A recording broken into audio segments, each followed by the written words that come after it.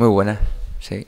La verdad es que eh, ahora, bueno, muchas veces te viene a la cabeza y, ahora estos días recuerdas el primer día aquí y, bueno, pues das gracias de que haya sucedido esa circunstancia, que, se haya dado todo para, para venir aquí en, este momento y, y bueno, por supuesto haber vivido este año que a nivel profesional ha sido extraordinario.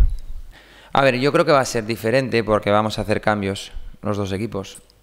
Va a ser diferente porque después del último resultado, pues yo creo que ellos, mm, la Real va a venir un poco herida y, entonces pues querrá lo, resarcirse de, ese mal resultado y no hay mejor forma posible que a quien te lo propinó, pues propinarle tú un puñetazo igual.